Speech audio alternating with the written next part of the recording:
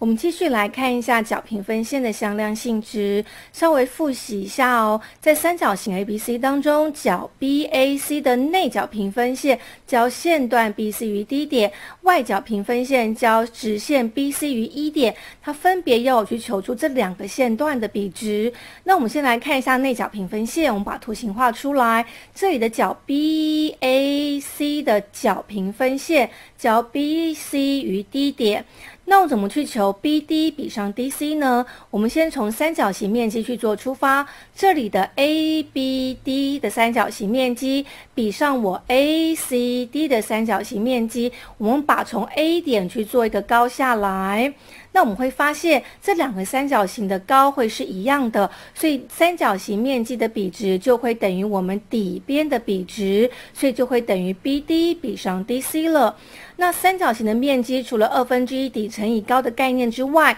我们也可以从另外一个角度做出发，那就是两边一夹角的二分之一的 ABAD 乘上 sin 阿尔法，以及二分之一的 ACAD 乘上 sin 阿尔法了。那我们可以发现这边的二分之一、二分之一，大家都有，都可以把它消掉。那这边的 AD 乘上三阿尔法，AD 乘上三阿尔法也是一样的，所以最后只留下了 AB 比上 AC。那么我们就可以发现，BD 比上 DC 就会等于 AB 比上 AC 了。那再来，我们看一下外角的部分。那外角的部分可能要稍微注意一下哦，找角平分线记得要延长长边。怎么说呢？这里是我们的主角 BAC，如果从这个图形来看的话，AC 是比较长的，所以我们要延长 AC 这个边，从这里去抓我的外角平分线，那就会交 BC 直线于一点了。那有了这个概念之后，我们再来去求 BE 比上 EC 会是多少呢？一样从面积做出发，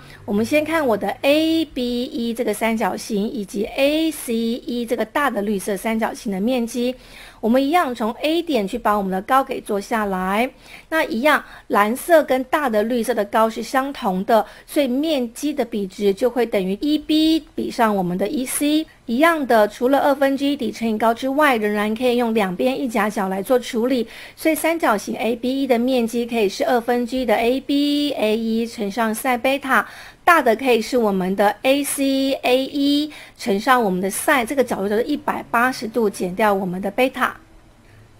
这里的 sin 一百八十度减掉贝塔就可以换成我们 sin 贝塔，就把它重新去做个整理。那一样的，我们会发现二分之一跟二分之一可以被消掉，这时候的二一 sin 贝塔这边的 A 一 sin 贝塔一样可以被处理掉，最后的结果是 AB 比上 AC。